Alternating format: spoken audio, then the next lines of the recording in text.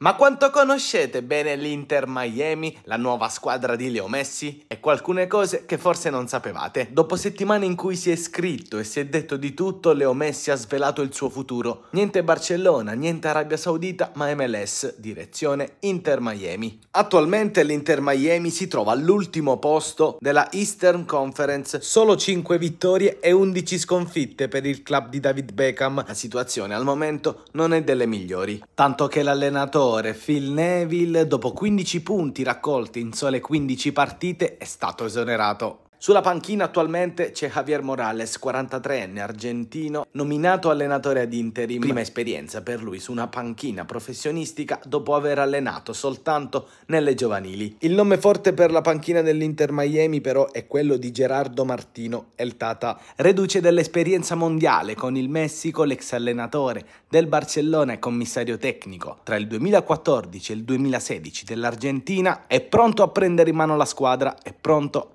ad allenare Leo Messi. Anche qui il destino ci ha messo del suo perché il Tata Martino era l'idolo del padre di Leo Messi, quando ai tempi l'attuale allenatore giocava nel Newell's Old Boys. L'attuale stadio dell'Inter Miami è uno dei più piccoli della Lega, ma il club ha già annunciato che dal 2025 avrà una nuova casa. Il Miami Freedom Park, un impianto di ultima generazione da 25.000 posti. Messi dividerà lo spogliatoio con Josef Martinez, l'ex attaccante del Torino negli Stati Uniti e una vera e propria leggenda. 103 gol in 144 partite con la maglia dell'Atlanta. In passato hanno giocato anche all'Inter Miami calciatori del calibro di Higuain e Matuidi. Nel mirino della proprietà anche Sergio Busquets, Ordi Alba e Angel Di Maria. L'esordio di Messi potrebbe avvenire nella sfida di Leagues Cup contro il Cruz Azul in programma il prossimo 22 giugno. I biglietti per quella partita sono incredibilmente schizzati alle stelle, da 29 dollari addirittura a 477. È stata la scelta giusta secondo voi quella di Leo Messi?